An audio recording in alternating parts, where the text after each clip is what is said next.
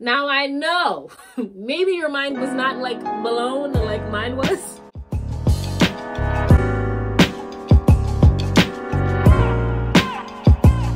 What's up everybody? Welcome back to my channel. It's your girl Kalifa aka Kali and this is XOXO Kali official where I empower you to live your very very best life with perspective, power, and purpose. Today we are talking about New Year's resolutions.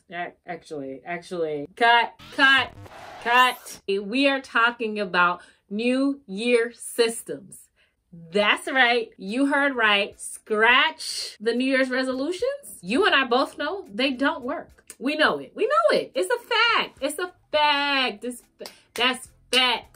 Y'all know I'm from New York. Today, we're talking about how we can implement systems in our lives to affect our behavior and, you know, have a great 2021. Okay, because we don't have time. We don't have time. And so we got to do things differently this year.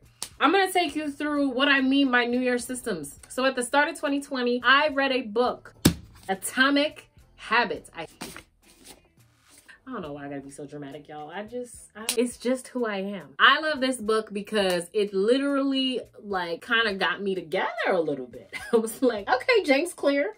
That's the author of the book. I'm like, all right, James Clear, you better write. But I'm gonna share like a couple of nuggets that I got from this book and I'm so excited to share it because guess what? We are implementing systems and we're not even focusing on goals. That's right. You heard right. Throw the goals away. All right, I'm ODing. Don't throw the goals away, but we're gonna focus on the systems instead. Kalifa, Kali, why would I even do that? I'm so glad you asked. The reason why we're implementing systems and not goals is because number one, winners and losers have the same goals. Now I know maybe your mind was not like blown like mine was, but winners and losers have the same goals, people. So that means, listen, there's something that distinguishes the person who wins as opposed to everybody else who was trying to win. No, I'm going to challenge you that what differentiates the winner from everybody else who loses is the system that they implemented to get there. They both set out to win. All I do is win, win, win, no matter. Okay. For example, when I was in first grade, I lost the spelling bee. It was actually a really hard moment. Actually, I came in like second. We're not even gonna talk about that. I missed the word hospital. I couldn't spell it.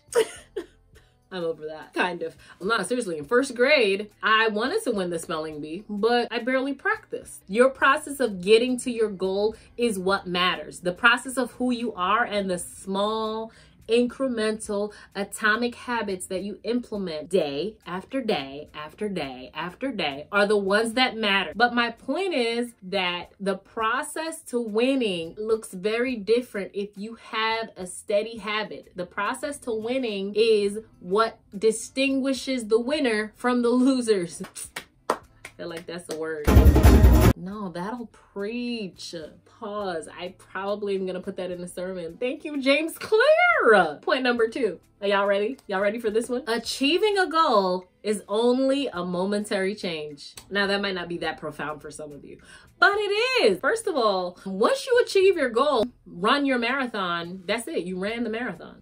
All right. People like work out, and once they get to the weight that they want to be, they just stop working out because it's like, why? I'm here. I have arrived. I have arrived. Once you achieve your goal, that's it, you're done. But if you change the process, if you implement a system, you can work on achieving goals. You can achieve a state of being, which is gonna get you to the type of person you wanna be. A lot of us wanna be disciplined. So instead of just thinking about a momentary change, think about how can I implement a lifestyle that's gonna lead to changes, but it's gonna keep me going. Point number three, goals will restrict your happiness. And I'm the prime example. I am a fire starter. Like I will start something. Okay. I will start on 10. Like literally, like I'm, I'm all the way up here. Like I'm going to give you a run for your money with the way that I start. But the minute I get discouraged, I'm just kind of like, oh no, I didn't meet my goal. And so I'm going to stop. And a lot of us go through that cycle of not meeting our goals and feeling disappointed in ourselves and just dropping the ball. When you set up a goal, you're in an either or predicament. Either you lose 20 pounds or you don't. Run five miles or you don't. Learn a new language or you don't. And once those goals aren't achieved, then you're just like sad and it just, it's very discouraging. Versus if you implement a system where those things happen, your systems transform who you are. Your systems transform your life. So even if you don't lose 20 pounds, you know that you're the kind of person that's a healthy person. You're the kind of person that can lose this weight. And so you can be happy in the present. You're not necessarily focusing on a number. You're focused on being the kind of person that implements a process to get there. I hope that made sense. Now that we've broken down the problem with goals, I'm not saying throw the baby out with the bathwater. I'm not saying throw out everything. Don't even write a goal. That's not what I'm saying. Now, I obviously can't go into everything that I learned in the book. I just can't. It it's just I can't go through it. It's just there was just so much wisdom. If you like this video, give me a thumbs up, like, comment, subscribe.